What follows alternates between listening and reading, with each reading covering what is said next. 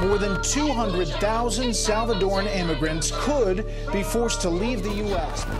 Refugees who had fled the country following two massive earthquakes. The bottom line is look at the name of the program. It's temporary, it's not meant to be permanent. First thing I checked was Facebook, and they say Trump and the TPS for El Salvador, and they just give 18 months to live.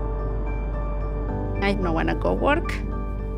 I just want to stay in my room. But I say, no, I need to go work. I need to be strong for my family. The majority of TPS holders here in Harvard are from El Salvador. Who will think we clean this university if immigrants we had to leave?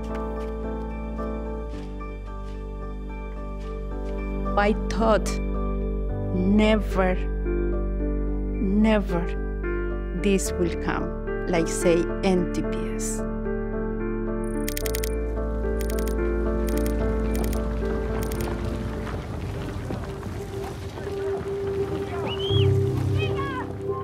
I remember the earthquake. George Bush said he will give temporary protect status for people from El Salvador because the country was devastated.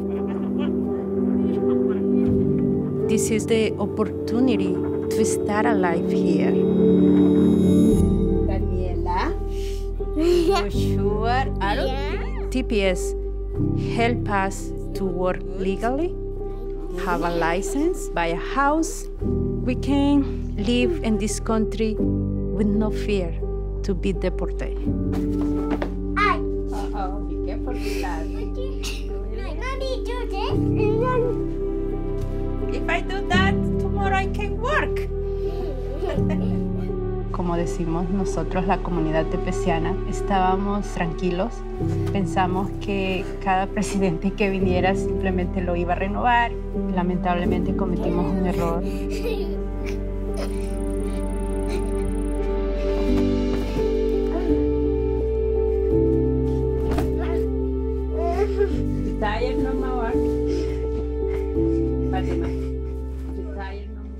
TPS fue ah, terminado, a mi hija viene acá. Sus calificaciones empezaron a bajar en la escuela.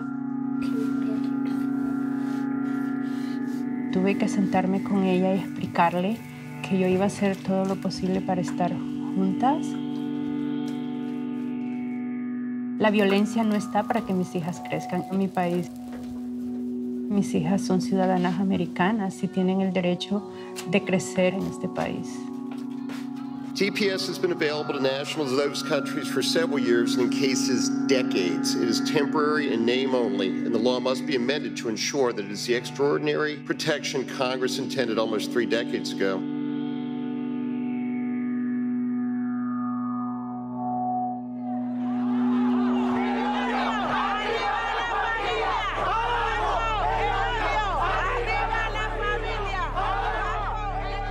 Yo creo que la mayoría de ustedes ya sabe el trabajo que se ha venido haciendo y yo creo que también hay que darse un aplauso a ustedes mismos también porque After we found out how many workers we have here in Harvard, we started organizing worker to ask to the president for support.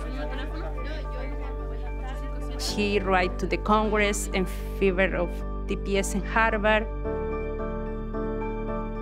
After that, a lot of students invite us to talk in different groups and explain what is TPS. Now we focus nationally because we need press new Congress. And believe if everybody stand up, we can push the politicians. This is the only option that President Trump give me to keep my family safe.